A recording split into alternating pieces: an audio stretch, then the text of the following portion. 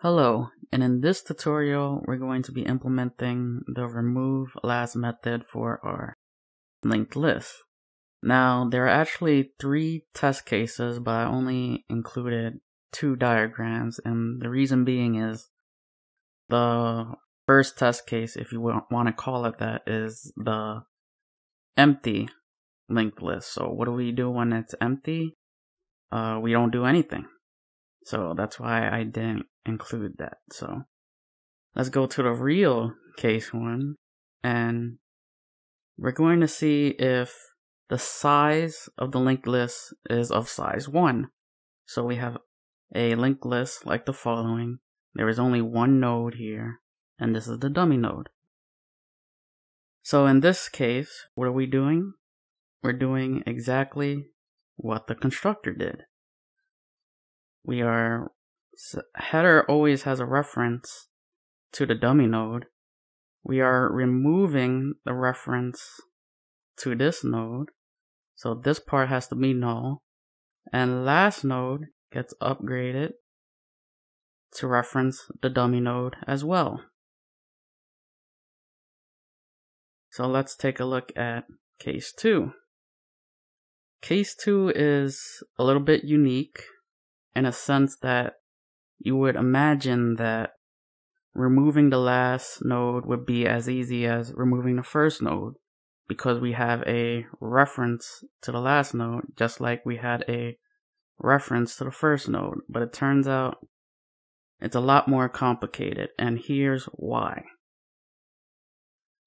In a singly linked list, we only have a reference to the next node. So we can only go one way.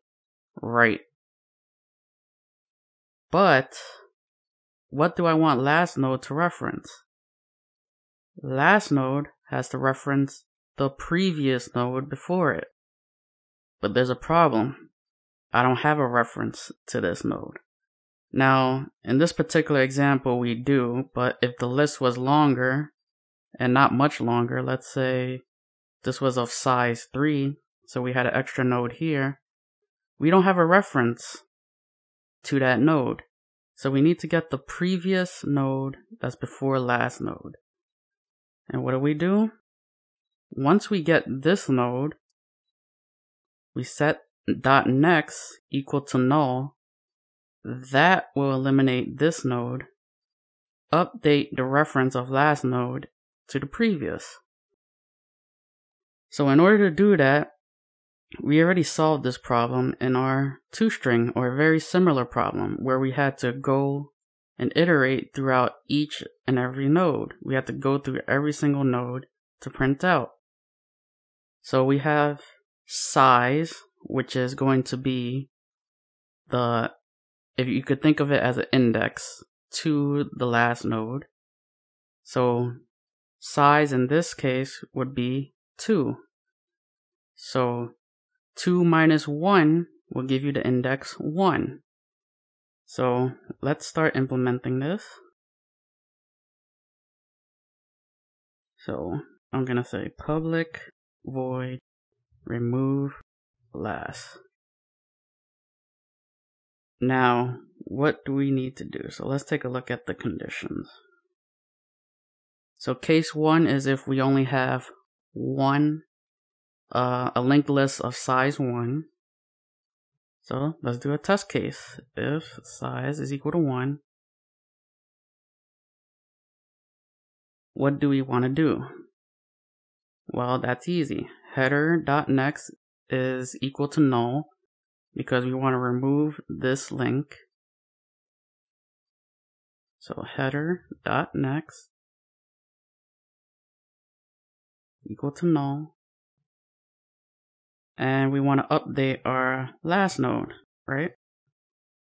Last node will reference what?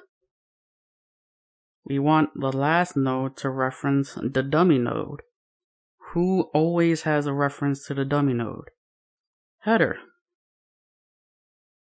So last node reference header. And our last step, decrement the size because we're removing a node. So what's the next case? If the size is not equal to zero, because remember, when it is equal to zero, we don't want to do anything. So let's just write the condition down for now. So size is not equal to zero. Now, how do we get the first node? Very simple. It's right here from our toString method. So, but let's take a look at the diagram. So header.next will give you the first node. And we're just going to call it n.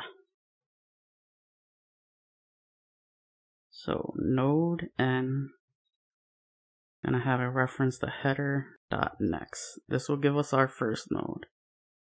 We need a count.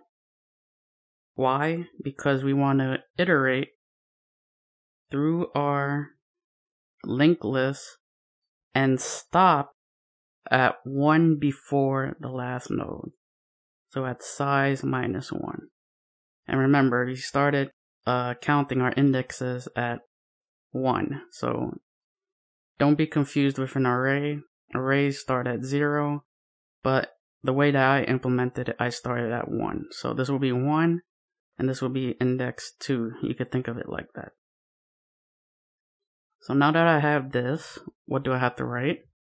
While count does not equal size minus 1. Why size minus 1? Because this is the index before the last node.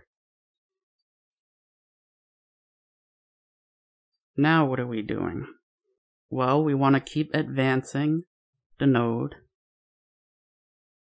And more importantly, we want to count.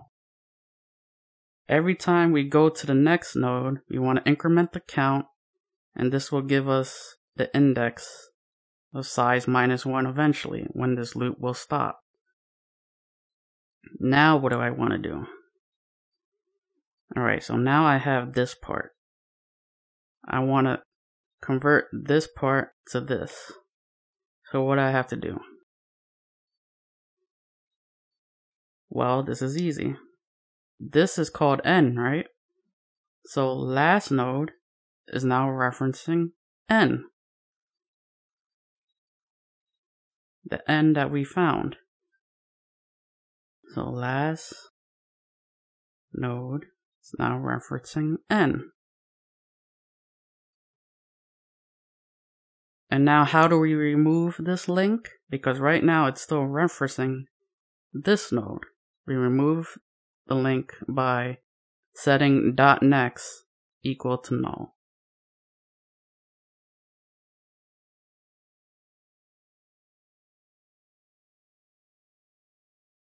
Finally, we decrement the size. And now we have implemented our remove last method. So now let's take a look at this in the main. I'm going to say list dot remove last list dot remove last. Let's do a print.